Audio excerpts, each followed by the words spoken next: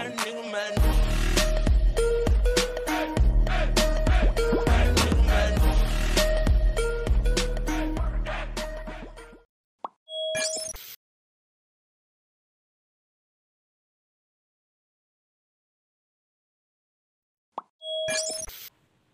chào các bạn, hôm nay chúng ta sẽ sử dụng phương pháp ghép trục để xử lý các bài toán hàm số vận dụng cao.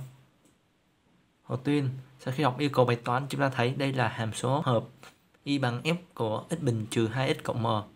Thì đầu tiên chúng ta sẽ vẽ bằng biến thiên của ghép trục. Mình sẽ để ba dòng ở đây.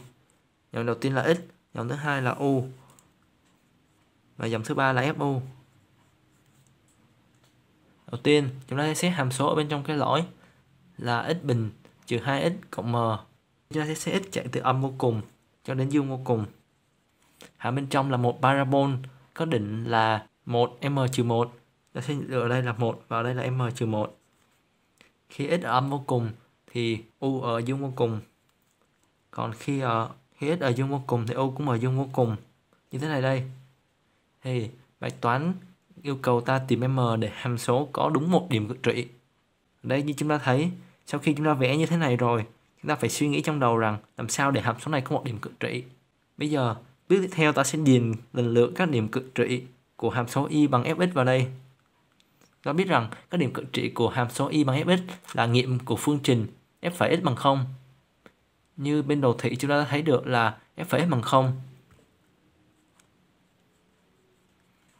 khi và chỉ khi hoặc là x bằng trừ 1 hoặc là x bằng 2. Vậy bây giờ ta cần điền các điểm trừ 1, 2 sao cho nó thỏa mãn được là hàm số phải có đúng một điểm cực trị. Anh sẽ xét trường hợp thứ nhất, đó chính là nếu như số 2 lớn hơn số trừ 1 và lớn hơn m trừ 1 thì điều đó có nghĩa là ta sẽ mình sẽ vẽ nhỏ bằng biến thiên của cái u bên đây. Cái u nó sẽ là dương vô cùng, đây là m trừ 1 bên đây là dương vô cùng. Thì khi m trừ 1 nó bé hơn trừ 1 thì ta sẽ điền ở đây là số 2 bên đây số trừ 1 ở bên đây là trừ 1 ở bên đây là số 2 chúng ta thấy được hàm số ta có tất cả là 1 2 3 4 5 5 điểm cực trị. Ta sẽ loại trường hợp này đi, bởi vì bài toán kêu là chúng ta cần tìm m để hàm số có đúng một điểm cực trị. Rồi chúng ta sẽ xét đến trường hợp thứ hai, đó chính là số 2 lớn hơn m trừ 1 nó sẽ lớn hơn hoặc bằng trừ 1 khi đó nó sẽ xé bằng miễn thiên của hàm số u ở đây. Ở đây là dương vô cùng, đây là m trừ 1 ở đây là dương vô cùng. Rồi do m trừ 1 nó lớn hơn số 2 cho nên chúng ta sẽ điền đây được số 2 ta sẽ bỏ đi trừ 1 bởi vì trừ 1 nó đã bé hơn hoặc bằng m trừ 1 rồi. Nên đây mình sẽ điền hết số 2 ở đây. Để hàm số có 1 2 3 3 điểm cực trị. Nhưng bài toán yêu cầu là tìm m để hàm số có đúng một điểm cực trị, nên chắc sẽ loại trường hợp này. Vậy chỉ còn trường hợp cuối cùng là nếu như m trừ 1 lớn hơn hoặc bằng 2 khi đó mình sẽ bấm vẽ bằng miếng thịt của hàm số u ở đây. Thì chúng ta sẽ có được đây là dương vô cùng.